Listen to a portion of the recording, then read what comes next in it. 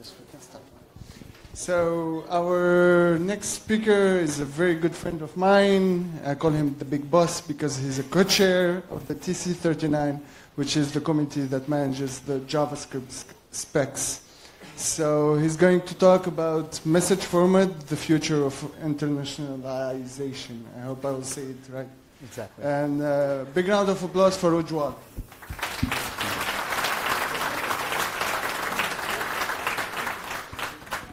Let's go. Thank you, Eamon, for the gracious introduction. Uh, major thanks to Leo for for setting up the stage for me. It's there's no pressure there at all. Uh, and well, I, I, thought a lot about this. It's it's very anxiety-inducing to follow up to a talk like that. But I realized that it's nothing to be anxious about because why not follow up that, that very intense technical talk with something simpler. So I try to talk to you, right? And it's mostly propaganda. It's a, it's a program that I not, uh, need to induce you to. Uh, but yeah, hope you're ready. Uh, everybody ready? Let's start? Okay, great. So welcome. Um, a little bit about me before we begin, because that's obviously the most important part of the presentation. Uh, I am Ujjwal. Uh, you might remember me from my username on the internet. Uh, it's not easier, but it's fine. I'm from New Delhi in India, and I live in A Coruña. Uh, it's a beautiful little city. Uh, I would describe myself as, well, zealot may be a strong word, but um, trust me, I, I, care a lot about open source software and um, believe in the web. Which is what I'm here to sort of make you fanaticized about as well. But I, I, suppose, given that this is the JavaScript room, you all share a lot of these ideas as well. So I, I love dogs and masochistic video games that, that hurt me psychologically. And I work at Igalia. So quick show of hands, uh, how many of you know about Igalia? Wow. Uh, only at this conference. Thank you. Uh, at Igalia, well, this is me trying to read a newspaper, I don't know. Um, Igalia is an open source consultancy. If, if you don't know about us, we are also a worker-owned cooperative, uh, so that's neat. Uh, we've worked across a lot of open source projects and ecosystems, mostly around low-level software like the Linux kernel, different things in the Linux user space, and in the multimedia space, and graphics, and so on. Um, you might know about some of our contributions in the web platform. Uh, a lot of the browser projects uh, have, have a lot of interesting work that has been put in by my colleagues, uh, which I'm very proud about. And lastly, but not the least, I, I suppose, we work in the compiler space, which is uh, all about programming language design, right? It includes uh, WebAssembly and JavaScript, but also stuff on LVM, uh, and that's what I need to talk to you about, about JavaScript, about TC39, as he said, uh, which is a very descriptive name for an organization. Uh, do any of you know about TC39? What does it do? Wow, that is surprising to me. Uh, but TC39, long story short, uh, designs and develops this programming language called JavaScript that we all love, I hope. Um, to some extent. It's a complicated subject. But how would you describe JavaScript? What do you think of JavaScript? Do you have a definition for JavaScript? We know what JavaScript is. I would like to describe it, hopefully non-controversially, as a general-purpose programming language, a now general-purpose programming language, that is designed primarily for, for scripting web interfaces. Are you web developers? Are there any non-web developers that use JavaScript? No. See, like I while JavaScript is a growing language ecosystem, it is still very heavily influenced by the web ecosystem. And it owes a lot to the web ecosystem for making it what it is. And therefore, as the primary language for making web interfaces, it needs a lot of tools that are required for web interfaces. But what is the web? I couldn't even find a logo or an image to describe the web. And I feel that a, the web is such a weird concept because we all know what the web is, right? But could any of you define what the web is? Um, so I, I, do feel that the web is, is hard to define or really put a finger on because it's gone through so much. I, I always rely on my good friend Baudrillard for explaining what the web is. So we have, for example, web as we know it, and then it just keeps uh, what? And now it's everywhere. The web is, is in your gaming consoles, it's in your cars, in your toasters, probably. Does it need the web? Probably not, but I, I don't know. Uh, I don't trust toasters. But the point is that over the last couple of decades, the web has more or less emerged as the main platform for designing interfaces for people. Uh, this is not a controversial statement, I hope. But what is the web platform that I'm talking about? So to define the web platform, I would say that it's an interactive, decentralized communication platform at the scale, but that, that makes no sense. So the web is a standard platform for making widely accessible. They're deployed at the scale of everyone uh, and rich user interfaces. We are not in the early days of the web. The, the interfaces that we use uh, on the web have changed substantially. Um, but this ambition of universality, uh, universe, universal, yeah, that's the, okay. Uh, yeah, this ambition is built into the web and its ethos, right? It is supposed to be for everyone. It is supposed to be accessible by the, uh, vast group of people. And any platform with, with such ambitions is, is not needed, but I would argue required to be accessible and internationalizable and localizable because how else do you reach uh, the anywhere near like the, the target audience of the web, right? So the web has a responsibility as this platform. A quick note before we start, uh, I've already started using these terms, but if you're unfamiliar, internationalization basically is the process of making an interface in a way that it can be localized into various different languages, cultures to suit your users. And as I mentioned, localization. Localization is the specific act of you know, modifying your interface to suit a target audience. Uh, this is just a primer to, because I'm going to use this a lot. I hope that was obvious. But let's talk about the early web, the early interfaces that started thinking about internationalization. Because as much as I would like to talk about how the web has revolutionized internationalization, it doesn't start there. The story starts in the beginning because user interfaces were everywhere. Like people who were writing text-based video games in C were also uh, very keen on things like internationalization. UIs are composed of string content. These content, is, like the, these strings, are what we are referring to messages. So when I say formatting a message, that is what I mean. Uh, manual localization is a way to do this. Uh, I'm sure everybody is familiar with Wikipedia.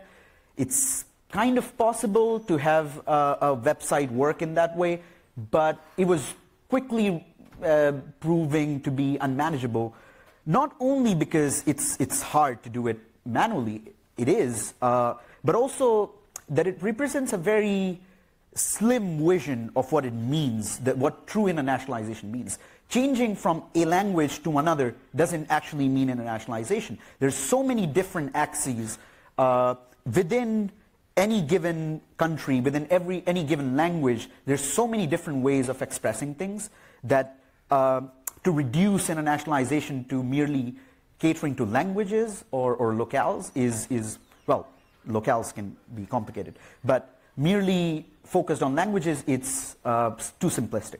So yeah, the actual diversity of locales can never be catered to using this simple approach. Imagine having a different website, uh, having a different version of your website for every currency that you support.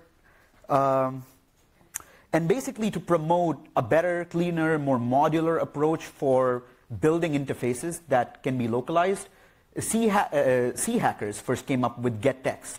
Have any of you ever used gettext? It's, it's everywhere, right? In all of your operating systems. It's actually part of libc, so basically everywhere. But let's talk about gettext. What was it? And I know that we are in the JavaScript room, but bear with me. It all makes sense, hopefully. GetText was one of the two main internationalization systems that the early hackers cooked up. Uh, the other was catgets, but mm, it's, uh, the, the presentation can only be so long. So let's not get into that. But it was the dominant system over time. catgets, as you might know, now not used anymore. And it was not standardized. We're talking, we're going to be talking a lot about standards here and, and how they enable people to, to build stuff in a way that is reliable across boundaries. But gettext was never standardized. It was, however, standardized in a de facto way by programmers using it across um, their tooling and, and basically through like documentation and education and so on. But its adoption by Sun and then GNU in like glibc basically made it so popular that it was standardized through popularization, for instance. It was not as powerful as, as the internationalization systems we would use today. It mainly dealt with very static strings and you could replace them with different strings in different languages. So already it's, it's not perfect, right? But um, it, it, was good for the time. It was what we had. It was better than nothing. Uh, but what it did was it, it, it went on to inspire an entire generation of applications, of interfaces that were not only utilizing internationalization, but were built with internationalization in mind. Um, and, and one topic that I'm going to, this is one topic that I'm going to keep returning to throughout the presentation. Giving power to your users is by far the easiest way, in my opinion, to, to well, people do wacky things, that's the web for you, but it's, it's the most interesting way, in my opinion, to allow people to innovate and come up with completely new paradigms that were unimaginable. And we'll see how gettext inspired uh, these things in its own right.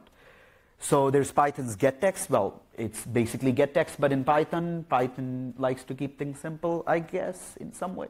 Uh, Java introduced, however, the, the, for the first time, the concept of message format. So the context here, like you might also already remember, well, it's in the same slide. But Sun Microsystems already big in this idea of interfaces, in, in internationalization, of basically deploying their products and, and their users' products across uh, the, the market, so to say, uh, was very keen on internationalization. And therefore, they basically, through acquisition and, and innovation, um, created the first sort of beginnings of message format in Java because they wanted Java at the time to be this like uh, it, it's so funny to think about it. Java was to that generation what the web is to us. Java was a cross-platform way of building interfaces that can be then deployed to a massive audience.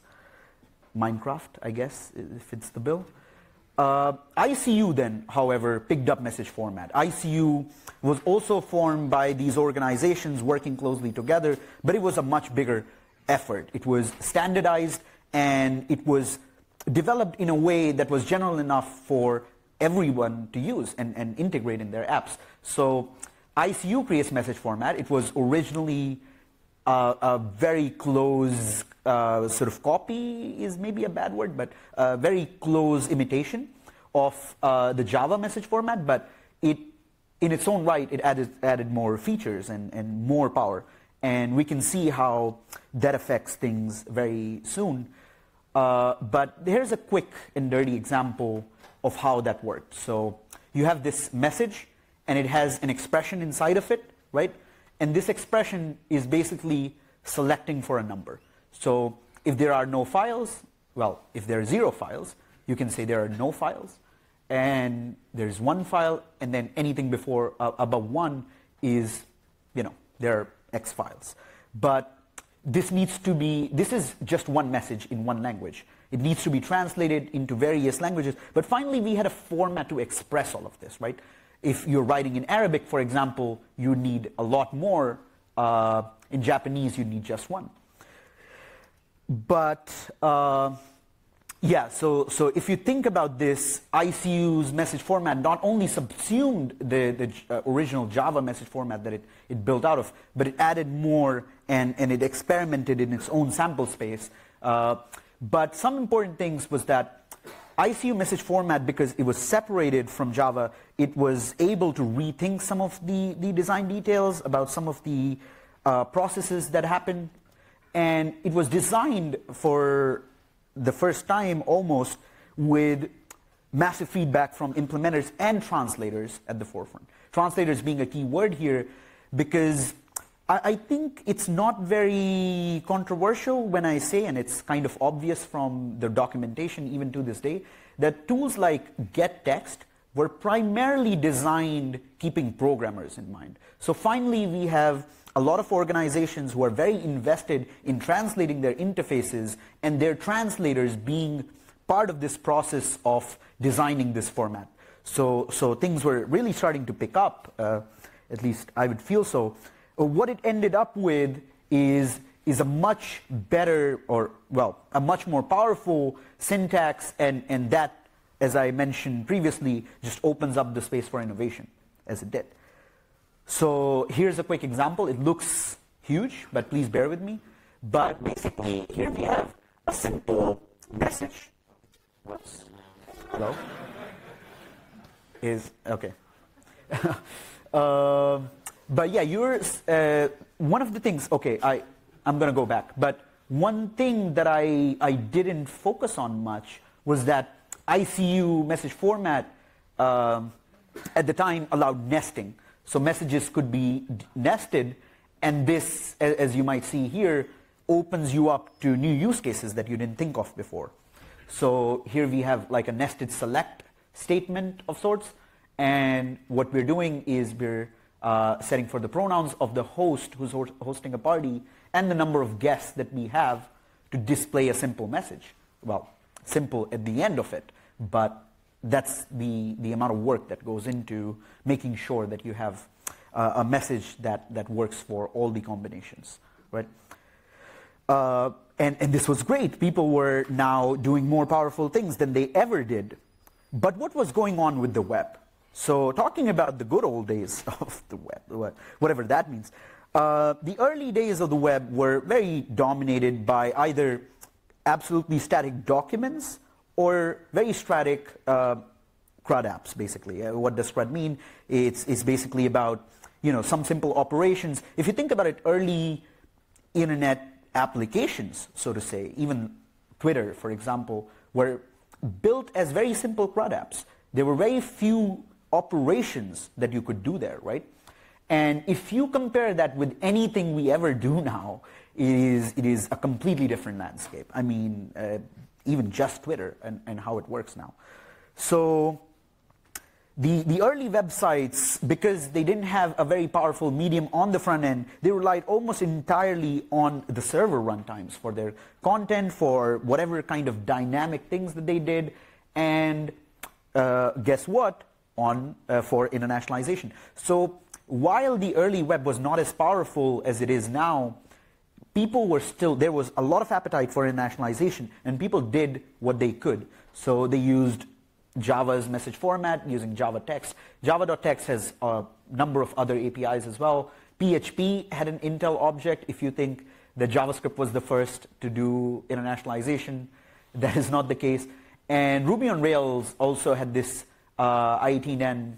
Uh, I, I don't know why I keep mentioning this. It's just one that is closest to my heart, I feel, because that's what introduced me personally to internationalization, how it's important and, and how it can really like bring life, uh, spell life into your interfaces.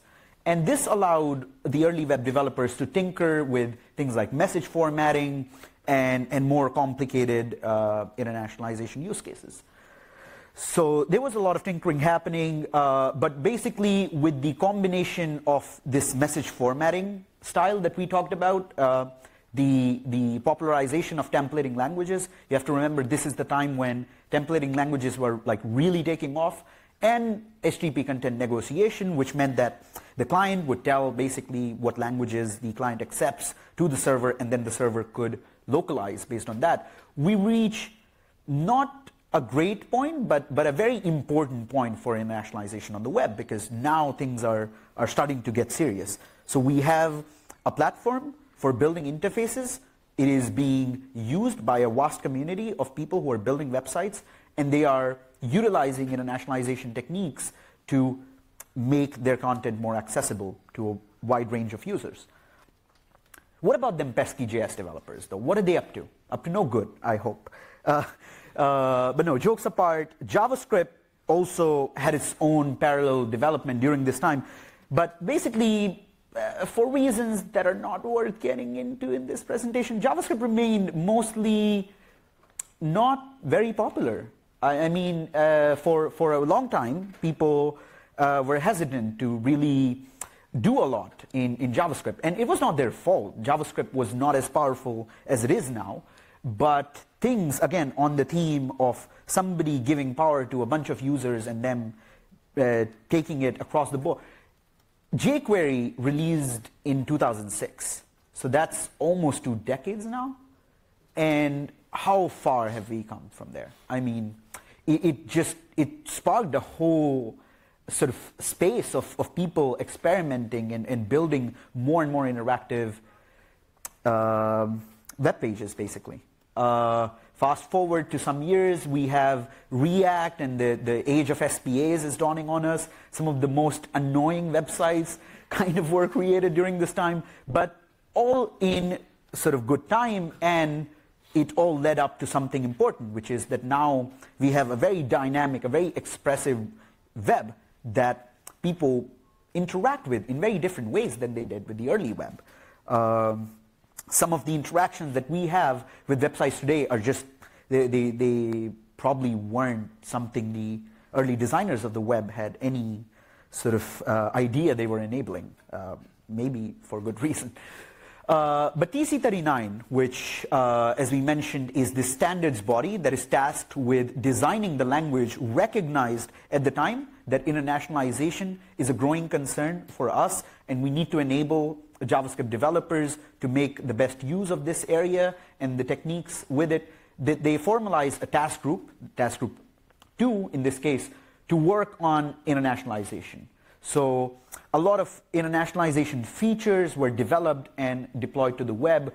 As of this date, you may know about the Intl object in JavaScript and the various formatters and, and other things that it has. Uh, but basically, modern JavaScript uh, interfaces use these like inline, well, not inline entirely in the context of interfaces, but basically they, they use these APIs to internationalize, to localize for that context on the client, and, and then sprinkle them across the, the interface.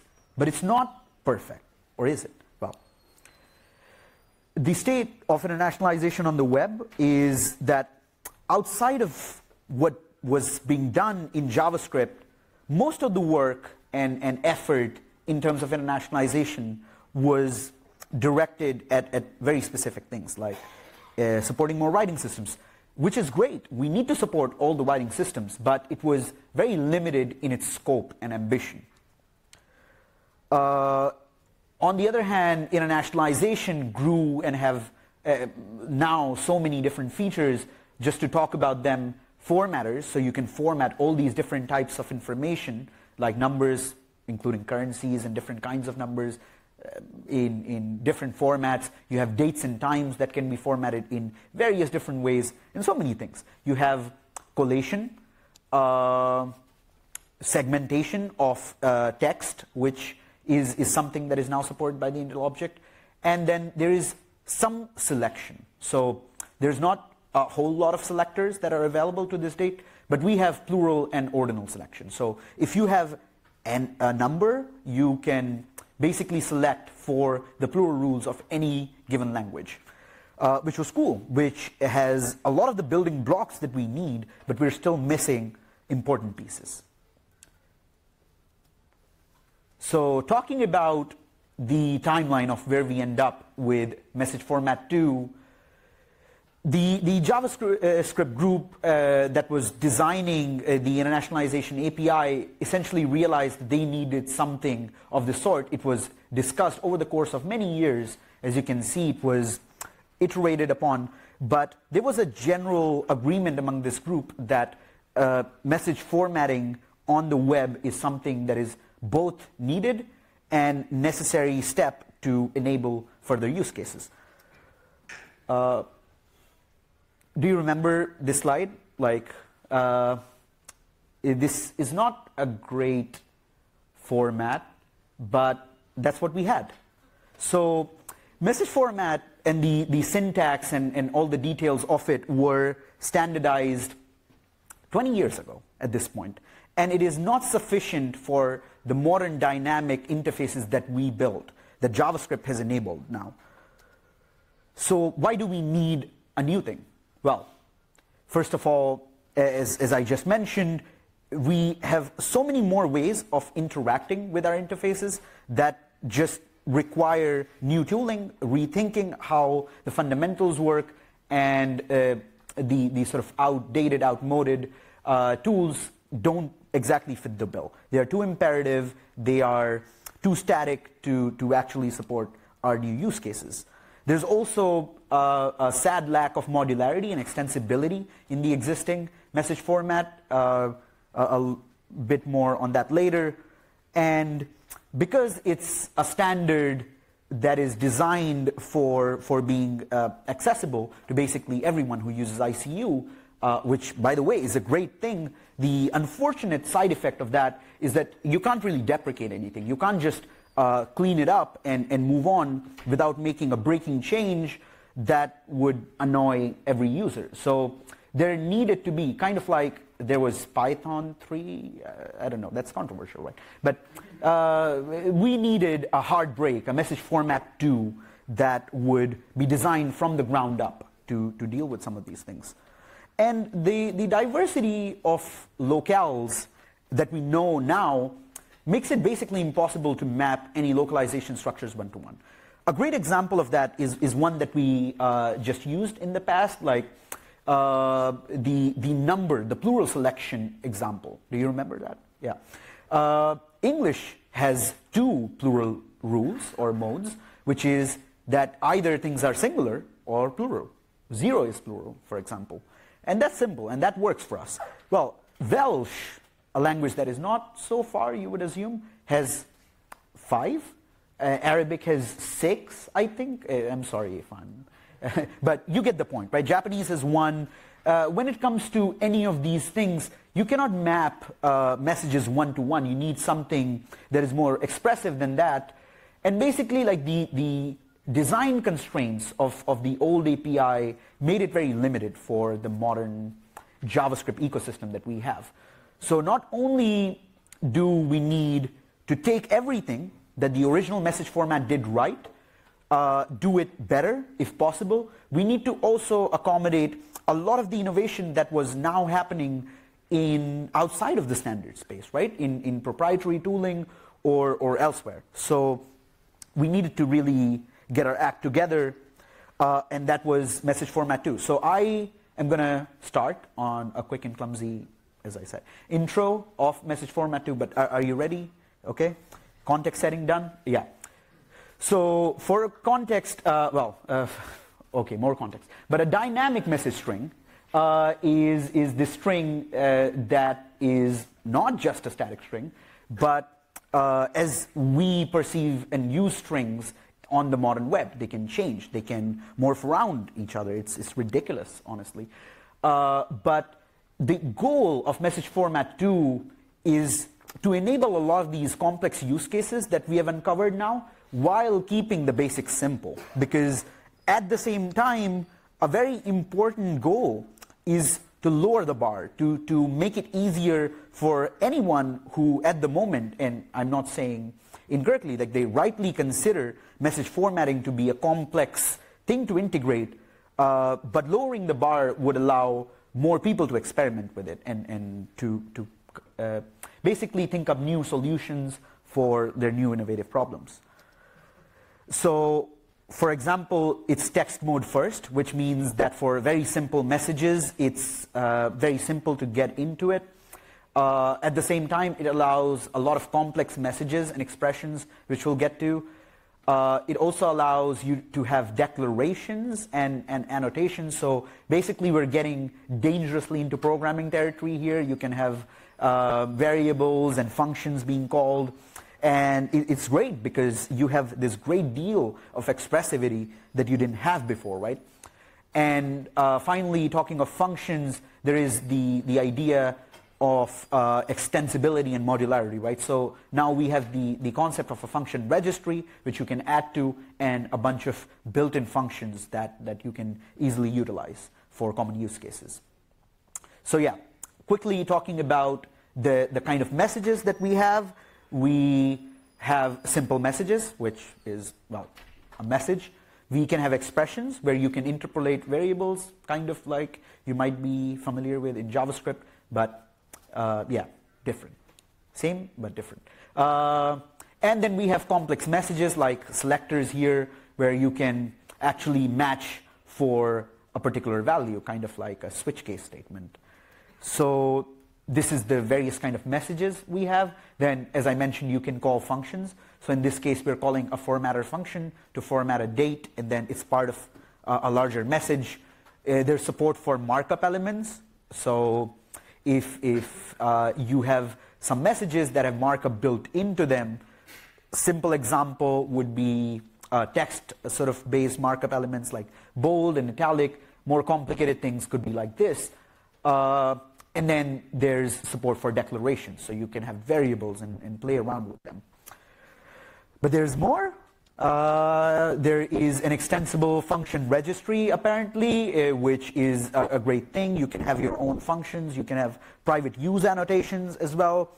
Uh, and there's support for popular built-in formatters and selectors, kind of like we did already in the JavaScript API, but specifically built into message format. So this means date and time, uh, possibly durations. Uh, it's, it's kind of not settled yet.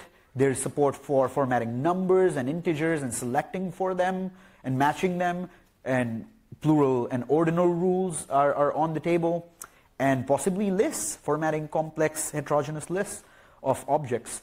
Uh, but yeah, as I mentioned, this is still something that is up in the air. This is one of the final pieces of the puzzle that we're yet to completely uh, uh, sort of put in the puzzle, I guess. Uh, how do you do that? But the, the point is that this needs to be settled, this needs feedback, this needs more data than we already have because we know what is generally useful, but what mostly helps is getting actual data from people who use these things or might want to use these things about things that matter to them. So the, that, that was part of the shtick, but basically do you remember that slide? It's still here. Uh, this is how it looks Uh, now. So you can have a more complex matcher, and now it's matching for both the guest count and the pronouns of the host. And yeah, you, you have an expression. It's basically achieving the same thing, but with a cleaner syntax and, and hopefully something more manageable than, than what we had before. Why does any of this matter, you may ask? I, I, where did I start with? I kind of lost context. But as we talked in the beginning, UI design has evolved a lot since the beginning of UIs, right? And the web platform was developed for something, but ended up becoming essentially the, the most reliable standardized way uh, for deploying user interfaces. But a lot has happened since then. Uh, for example, the UI space has done a lot of innovation around internationalization, about making more localizable uh, UIs in a cleaner way, in a way that helps programmers and translators and everyone else uh, in essentially message formatting. On the other hand, the web platform has evolved substantially with JavaScript, right? Things are, are very different from what they were. To bridge this gap, however, to, to fill the final piece of the puzzle, as I mentioned before, uh, we need Intl message format because we have developed a lot in the web uh, and, and interfaces are more complex and more dynamic than ever. At the same time, we have better tooling in, in every way when it concerns internationalization, but these two spaces have not yet benefited completely from the innovation in each other. So this is the idea. Not only is message format 2 built on top of a lot of the innovation that has happened within JavaScript, JavaScript is, is now sort of importing uh, years of work that has gone into the internationalization space. So what is the message format from internationalization? That's where we were supposedly starting, but uh, it got lost somehow. We, after talking about it in Unicode and, and sort of coming to this format, we finally brought Intl message format back to the committee, and, and it is now a proper proposal. So it's at stage one, uh, and hopefully it would reach stage two soon, and, and could get deployed to various browsing engines and, and uh, non-browser engines. Uh, but it is built on top of the things that we know and that we have discovered around familiar patterns that internationalization built-ins use. For instance, uh, formatToParts is this whole thing that we do in internationalization in JavaScript to allow people to essentially uh, have more control over their formatters, which is not really a concern outside, right? But uh, that is a, major design point for the proposal, among other things. This is how it looks like. So you have Intl constructor like any other. Instead of what we do with most Intl constructors, where we have the message at the beginning, uh, sorry, we have the locale at the beginning. Here we have the message, and then the locales and the options follow. And yeah, it works. It's um, this is very simple, but you you get the point. But I, I hope that this was convincing enough for you to feel that this is something important happening here. Uh, and if it is, then how can you get involved? Well, uh, one thing I mentioned is the actual message format 2 syntax and data model and everything that is being standardized under Unicode. You can go to this repo and read all the issues, see what's been done, and give your feedback there. Help us out in any way you'd like. And then there is the JavaScript proposal. It's early stage. It needs a lot of work. It needs a lot of feedback. And it needs uh, people to be motivated about it, to write tests, to, to help us figure out the spec, to help us figure out the design details. Uh, and we'd really appreciate your help. Uh, you can find us or me on GitHub and Matrix uh, and, and start from there. I'd be more than happy to guide you uh, with this, and that's all.